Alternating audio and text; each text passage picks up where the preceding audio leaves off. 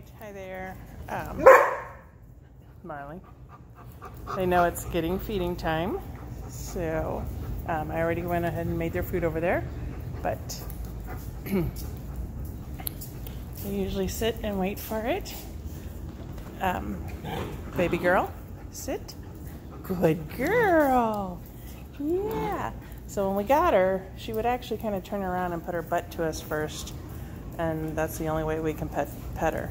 So now she's gotten a lot better, and when we tell her to sit, she actually looks at us. She plays good with the other dogs. Yeah. They all know the food's sitting up there and ready. All right, sit, baby girl. Good girl. So I just point with two fingers down, tell her to sit, and she sits. Kirby, sit. Sit. That was a kitty. Kirby, sit. Kirby, sit. Good boy, Marley. Good boy, baby girl. Kirby, thank you. And Dixie's sitting. So, Kitty's eating the food. Um, I went ahead and cut up carrots in there. Sometimes I cut up carrots. Sometimes I put cooked oatmeal. It's just a little bit of um, good stuff for them. We'll mix it up a little. So, usually put Kirby's food in first. All right, Kerb. Kennel up, babe. Good boy. So, um, to feed them their supper and their main meal, I always feed them separate so that I know that each one of them got to eat what they were supposed to eat. And I kicked over the water bowl here when we got home. So she knows to go on in. She sits. Um, I'll go ahead and put her food down. Oh, let me put Dixie's down so I don't spill it. Sorry, baby girl. Dixie, can kennel up, babe. Good girl. Yeah, good girl. Alright, so baby girl still sitting and waiting. Good girl. You can really see her white. I gave her a haircut over the weekend. Yeah. So put her foot down. Yeah, good girl. Better. And then go ahead and tell her to take a bite. Alright, babe. So shoot that way. We train them to do that so that they're not jumping on you while you're getting food ready and knocking it out of your hands. Um, the cats are laying around. She's used to cats and playing with them. All right, buddy.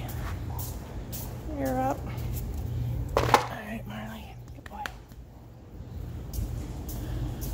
Um, we bought this pool, I guess, for the set before them and she absolutely loves it. She actually gets in it more than any of ours.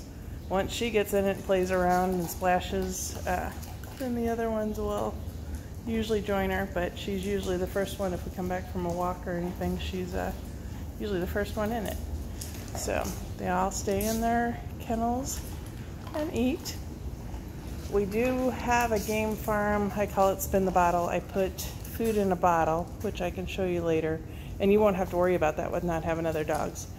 But um, since we have a bunch, or like when we're training ones, like I said, I want to make sure that they're getting what they want to eat or what they're supposed to eat, and that there's no competition between them. But then we put food, like say maybe middle of the day or in the evening, I'll put a little bit of food in a plastic bottle. and I have spoons in there and then it rattles and they'll sit there and they'll kick the bottle around and the food will fly out and then they'll eat it.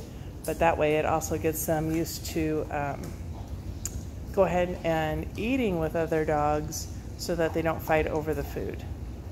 But like I said, with you having another dog, you won't have a little kitty back there. um, you won't have that issue at all.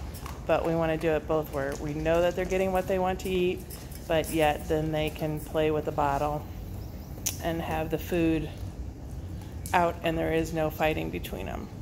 So, all right, I hope that helps, but she should do that for you um, when you get home, when she gets home, if you guys decide to take her. The other thing is, like I said, the first couple days, I you wouldn't have to hand feed her the whole bottle, but if you start hand feeding her that builds a really good, excuse me, relationship So like you can, she'll sit down and she'll go ahead.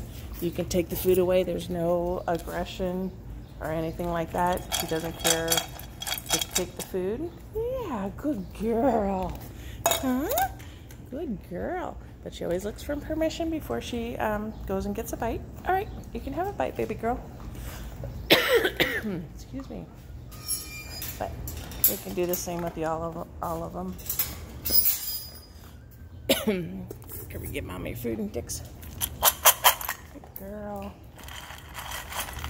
Yeah. Good girl. Hmm? No. Hey. Shh. Mom's food. Go ahead and sit. Good girl, Dix. Good girl. Huh? Good girl. Yeah. Okay.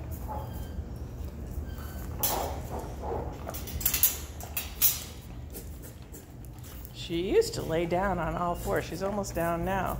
Used to lay down on all four and just eat. But Marley must be finished.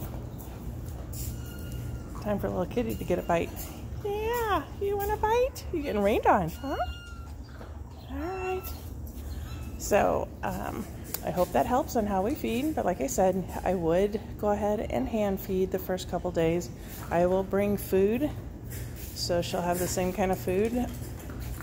I do mix three or four different kinds of food. I find that because you'll see on a lot of the golden doodle boards where um, they'll say, oh, my golden doodle won't eat this, or if it eats this, it gets an upset stomach. I have just learned I mix the food. I buy like three bags or four bags of different types of food, mix it all together in the big trash can, and that has really helped with not having a sensitive stomach or if I would happen to run out of a certain type of food or when we go camping. Either you run out of food or you if one of them gets into it and eats it all, that way they're used to different types of food in their stomach. I find their stomach is not as sensitive. So I've been doing that probably for the last five years. So I will go ahead and bring a container of that, of what I mix together, and then I will tell you like what kinds that I put in it. But you should be really able to take what I give you if you guys decide to take her, take what I give you, mix it in with whatever you're going to feed, and you shouldn't have any upset stomach. I will go ahead and um, bring a few packages of what the vet gave us. You'll come out, Bim. Yeah. Oh, sorry. I'm not watching when I'm videotaping. yep, she gets along good with the cats. Not sure how she'll do with chickens. We don't have chickens, but um, she is good with the other the other cats and everything. Are you done, Kirby? You're not gonna eat all yours? Good boy. Yeah, come on.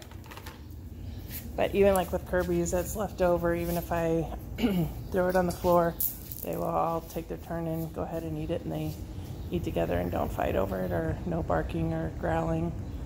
So, but that's why we wanted to have it both ways so that they don't fight over it or become food aggression food aggressive.